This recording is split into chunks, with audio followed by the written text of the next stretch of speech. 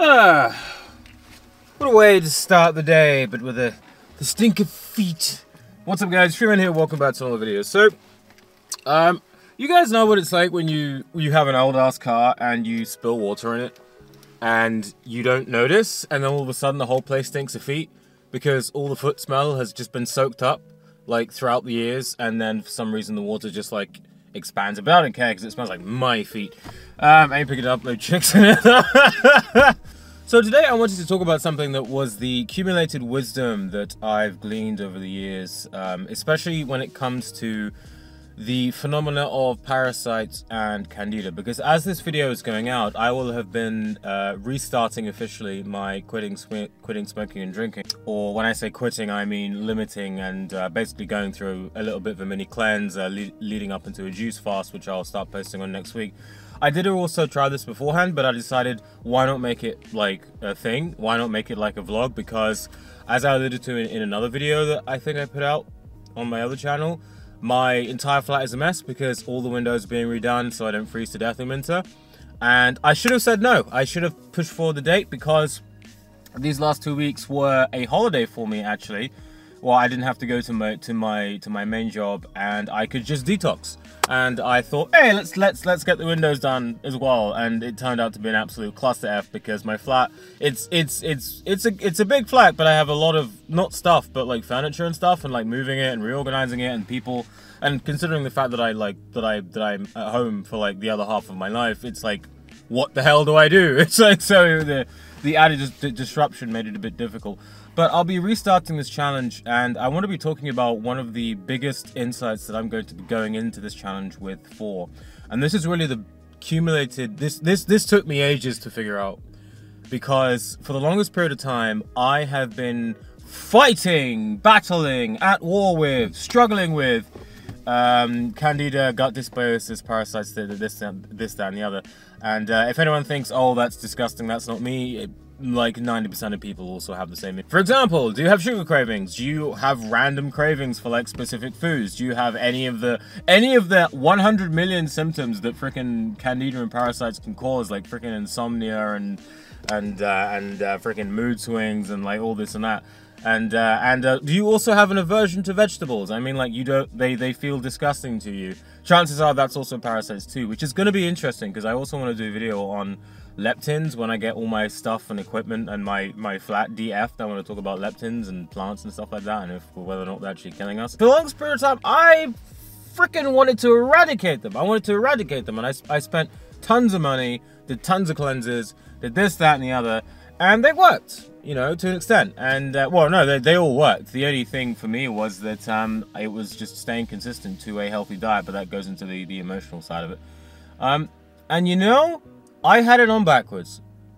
I had the whole thing on backwards because there was um okay so what what what sparked this off was there was a oh i wish I, future free man put up the name of the little score i think it's pcas score not pikachu or picture i don't know what it is free future man put it up there.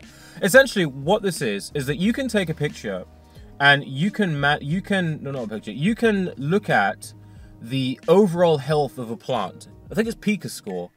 And um, that will basically determine whether or not it's healthy or not, whether it will grow and and and uh, and uh, and uh, this and the other. And what they found was that bugs and pests always go for unhealthy plants. If the score was too low, what you would find is that very very specific pests and and organisms would eat and break down the plant. But then when it was high, pests wouldn't touch it. If you have a pecan tree in Georgia or northern Florida here, and a fall webworm uh, is interested in it, she will come lay her eggs, and they will lay their eggs. The caterpillars will come out, and they will start eating the plant because it's considered to be uh, edible uh, to the fall webworm. If the plant uh, is able to produce enough plant secondary metabolites and uh, get its Brix level up, they will lose interest in the plant, and all of the fall webworms will collect in a clump at the end of the branch they will be mere inches uh, away from a healthy pecan leaf, and they will remain there for several days. Over the course of several days, they will starve to death, and one by one, they will start falling off of the tree. This is why there's this big movement of, well, this is why organic gardening is a thing, but there's also like rejuvenative gardening. I think that's the name of it. But essentially, we don't need pesticides. This may be a, a shocker for a lot of people, but any old creature, insect, can't just eat any old plant. And I just mean any plant because insects eat specific plants. Um, but they, they, can't just eat any of the same, any of the plant that, that, that they like. Some of them they go for and some of them they don't. Now, what they found was that if the score was really high, if that insect was to eat that plant, the insect would get sick and probably die. This is, this is because the plant had the ability to manufacture its own self-defense mechanisms to kill any pests. So of course the pests would learn, oh, this plant is too healthy, we're not going to eat this thing.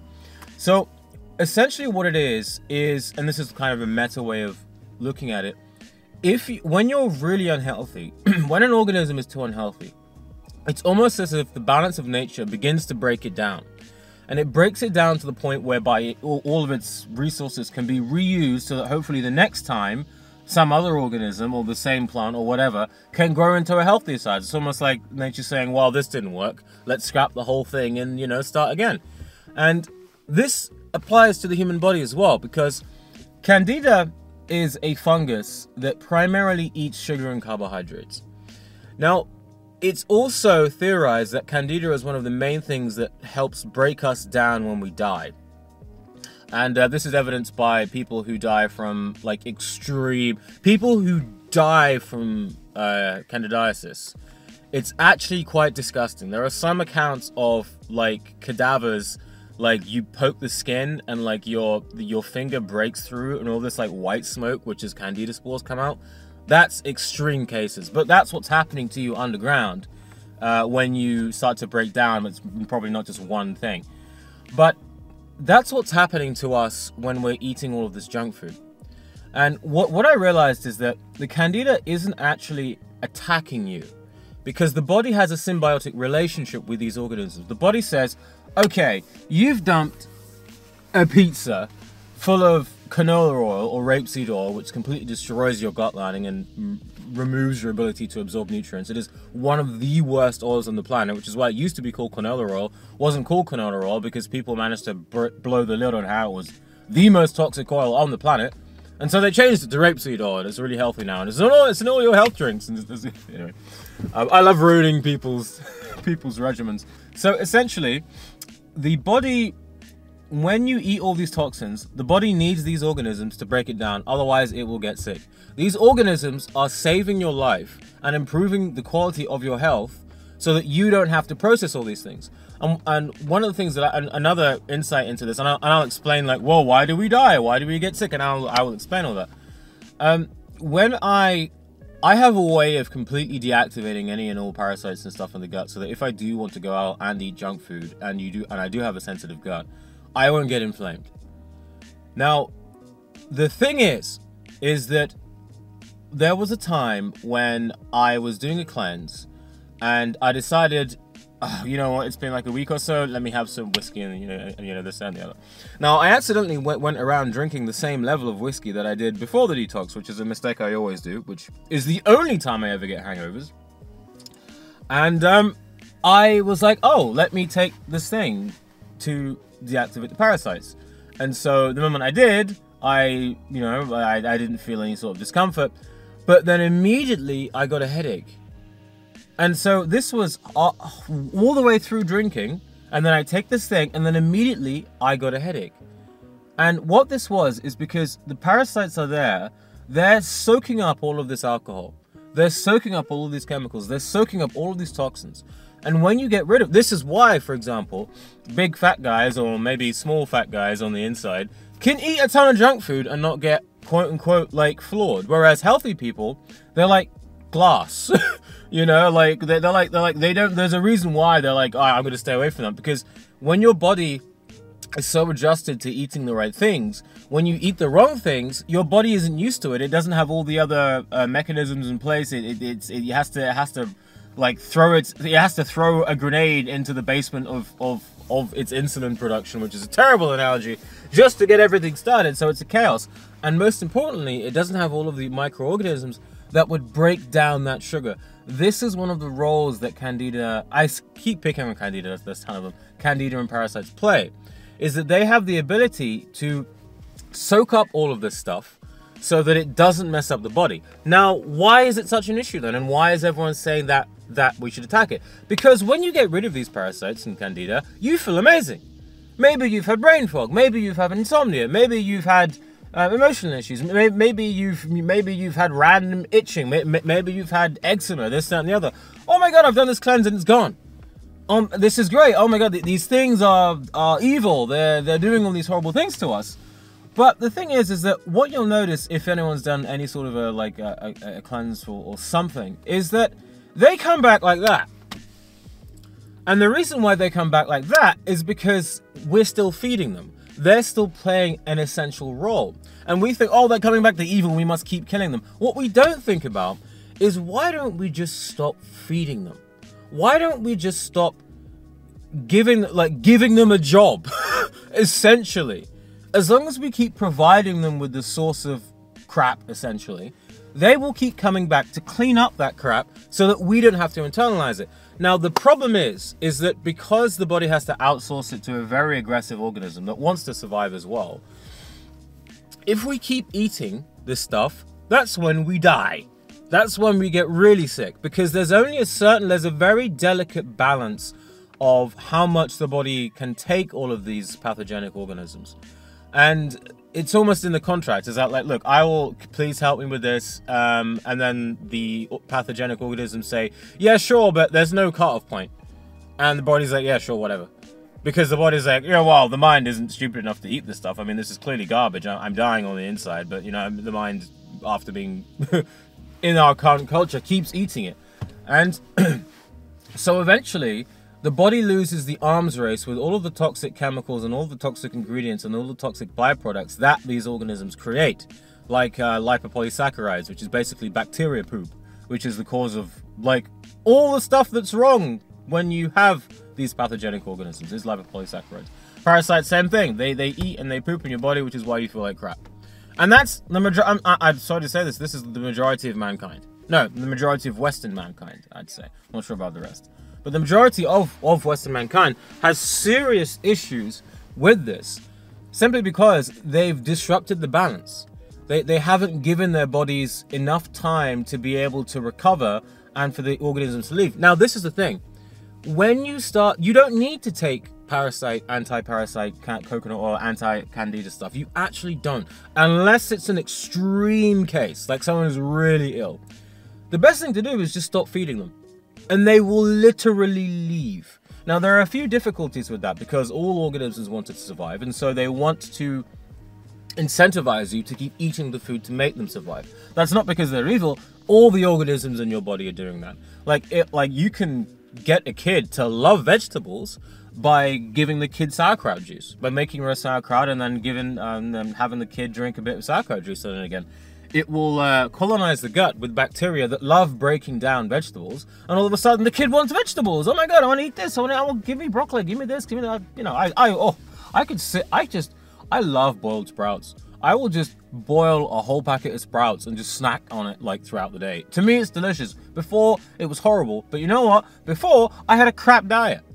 Before, I was eating junk food. Before, I was eating the standard Western diet which is why I hated vegetables. This also goes into the whole autism and also a bit into the carnivore thing because uh, a lot of one of the arguments for carnivore is that kids don't like vegetables, therefore and kids are intelligent and we should listen to kids. It's like, yeah, well, a kid will walk into a sh- sweet shop and if it has unlimited money, will literally eat itself to death.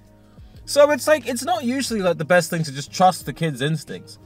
But what you'll find is that because of the gut dysbiosis, because of the imbalance in, in the gut flora and fauna, it's almost impossible to get the kid to eat the right things, which is why autistic kids they just love sugar, they just want carbs, they just they like there's like depending on what kind of autism it is, they're almost always going to have gut dysbiosis. Show me an autistic child and I will show you someone who has gut dysbiosis. It's almost impossible to not have one or the other. And I don't mean one or two symptoms. I, I hate the term, it's so difficult.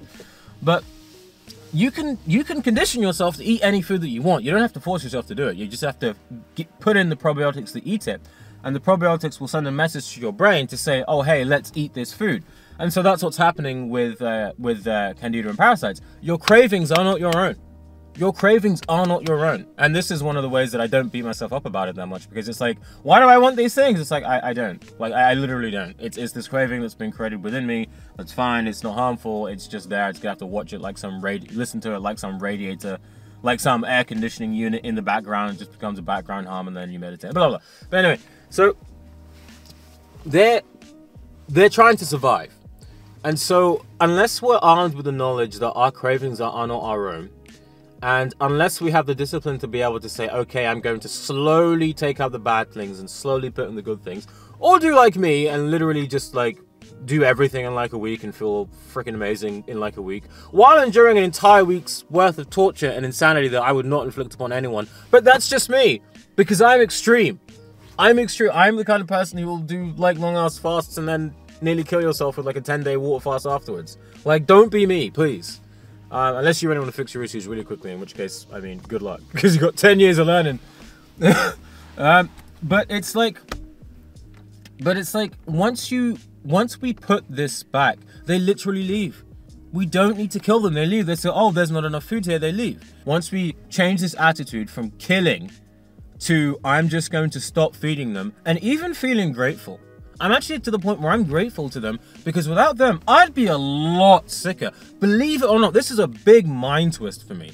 Without the very things that I was trying to kill off all my life, I'd be a lot sicker because I cannot take care of myself, apparently. I need their help to break down all these toxins. You need their help because it's not your it's not 100% your body that's dealing with all the crap that we're putting in ourselves. It's not, it never was. It's these organisms that we think are harmful that are fulfilling a crucial role of absorbing these things.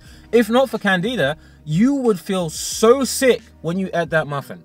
Or when you ate that pizza, or when you ate that muffin, that pizza, that beer, on that long ass night, where that where, where then you wake up the next day and say, "Ha, I feel great. Yeah, my body's amazing." And then there's all these bacterial um, organisms that are breaking that down for you. It's them. They deserve just as much credit as your iron liver does. You know what I mean? Anyway, I'm not sure how long this video is going to for, and I'm really cognizant of time because I know that people don't care about long videos. Um, so yeah, it's currently day one. Um, I'm gonna I'm gonna post a new video uh, every an update every two days. What I'm planning on doing is I'm planning on doing because Christmas dinner's coming up for the family and for work. Um, so there's no way I can I can last that long. So I'm gonna give you two two weeks of just normal diet. Um, so just quitting smoking and drinking, and I'll be talking more about the, the stuff that I'm doing to massively reduce my cravings. And I'll also be not be detoxing so hard because I, I I'm I'm getting like weeks worth of progress in like days, but I'm wrecking myself in the process, which is why I have not slept properly in like the last few days because I keep waking up and um, doing something. Um, because I keep waking up and then having to use the toilet and you know getting rid of all this crap and then literally and then just like I just not being able to sleep. Uh, but then afterwards, I'm going to be going on to a week-long juice fast uh, after that. So stay tuned to that. Ending hopefully right before the Christmas dinner stuff starts. So yeah, let me know what you think. Um, it was really mind blowing for me because like the world isn't the world isn't attacking you. You know what I mean? Like the, the reality is not an attack. The, the things that we think are bad for us, this is like metaphysical. It's all you. It's all you in another form. And nothing really, and you think, oh, well, it's trying to hurt us physically. It's like, we're all one. Okay, this is too much. Peace! 20 minutes! Oh my god!